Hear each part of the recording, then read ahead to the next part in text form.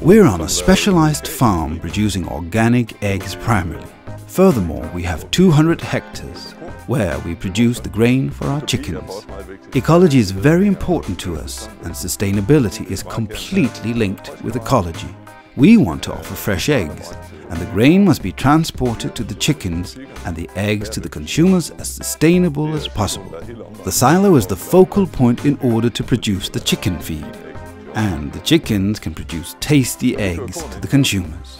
When we drive in grain during harvest, we want it to be placed where it's going to be used. We don't want to mess around with the grain and have to mix it again.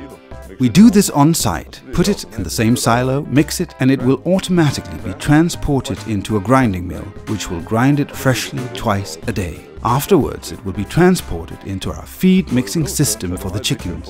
It's vital for organic chickens to get freshly grinded feed, because we're not allowed to add any artificial enzymes. But by using our own feed without heat treating it, we keep some enzymes in the feed which ensure the digestibility of the feed.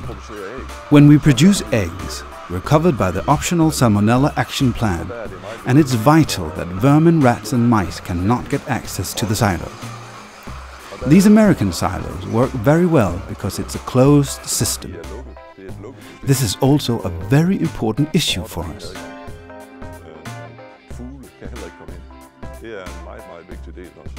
This means that we have very clean and very safe feed when it's in the silo.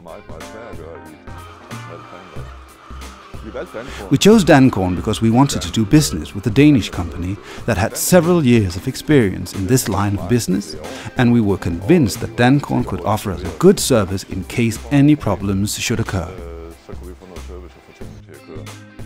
During harvest and also after harvest, when we need the feed from our silo, it must work perfectly every day. That's why we chose DanCorn as our partner. We've had a very positive and professional contact with the salesman from DanCorn during the whole process. The silos were installed in time. After the installation, we've had a direct contact person in the service department. If a problem should occur, we simply call the service technician directly. We also experienced that a problem actually only was a problem because we operated the installation incorrectly. But this problem was solved over the phone. We think that freshly grinded grain smells fantastic, and I'm sure that the chicken feel that way too. They just love it. It's like when we buy bread on Sunday. We don't want bread on Monday, which was baked the Sunday before.